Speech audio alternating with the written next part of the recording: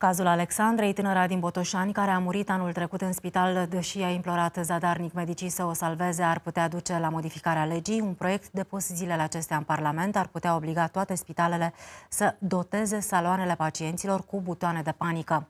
Secțiile de terapie intensivă și unitățile de primire urgențe să aibă și ele camere de supraveghere. Familia Alexandrei a comemorat de curând un an de la moartea ei. Mamă a trei copii, tânăra era gravidă în trei luni când a ajuns la maternitate cu sarcina oprită în evoluție. În cursul nopții de 17 spre 18 august 2023 s-a simțit tot mai rău și a cerut ajutorul medicilor. Timp de șapte ore, cum a arătat raportul DSP, nu a primit niciun ajutor. Familia crede acum că dacă spitalul din Botoșani ar fi fost dotat cu butoane de panică pentru toți pacienții, Alexandra ar mai fi în viață. El a avut buton, dar uh, i-a trimis la toți mesaj, și la doctorul curant, și la doctorul de gardă, dar uh, degeaba. Mesaje fără, fără răspuns. Încă nu ne putem uh, obișnui cu ideea că ea nu mai este.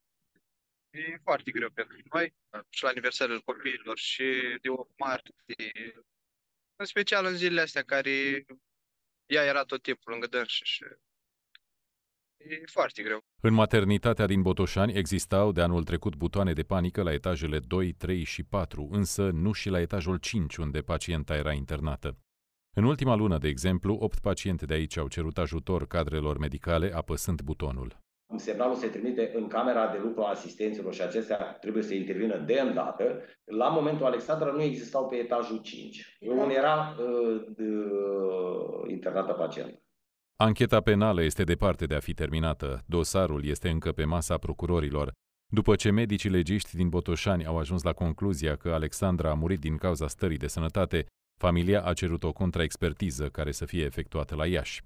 Rudele vor ca un specialist să lămurească dacă lipsa de reacție a medicilor din maternitate a dus sau nu la decesul tinerei. În acest timp, în Parlament a fost depus un proiect de lege prin care se cere introducerea obligatorie a butonului de panică în toate saloanele în care sunt internați pacienți.